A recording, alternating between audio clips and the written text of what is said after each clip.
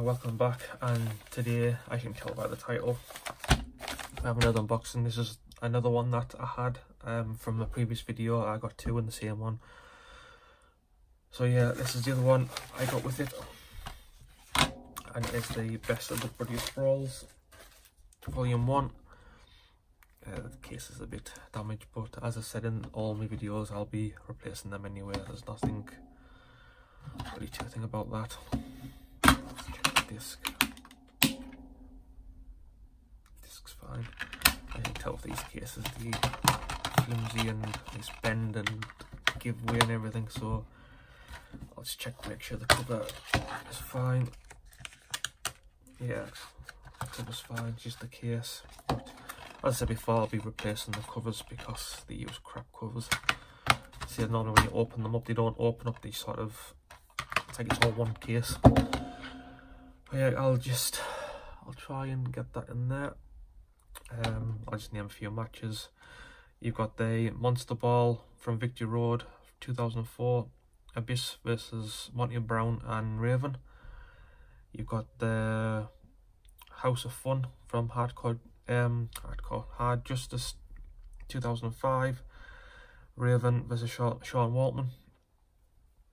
Um, the Monster Ball um, 2 from Bound for Glory when you've got Jeff Hardy, Abyss, Rhino and Sabu. And I'll leave it there so you can pause it to see about the rest of them. So yeah guys, there is an unboxing of the best of the Bloodiest Brawls Volume 1.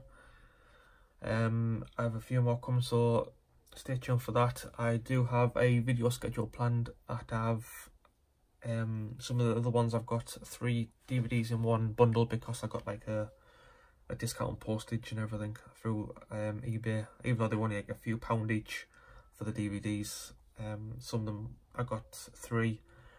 Then his auction ended in about six more days, so I bought one. Then in auction ended about another two ended in like two days, so I asked him if I could wait to pay for it because he offered us combined postage again. He said yeah, so um, these videos will be coming, will be these or the Slam Attax, more of them I don't know, um, but it will be like a, every three days-ish, something like that, two to three days I'll be uploading these and hopefully that should give me time to stop doing videos for a while but on a scheduled upload so I can get the shelves done because I'll be getting some of the wood this week. Um, a desk because obviously this one's this one I'm using that was too big so I need the room for the shelves so I'm, I'm downsizing the desk. So that's going to be the plan so there'll be say I won't be only only unbox I'll be doing will be the like WWE unboxings. So um yeah so that's about it for this one. Um, so again as I always say please like subscribe comment and I'll catch you in the next one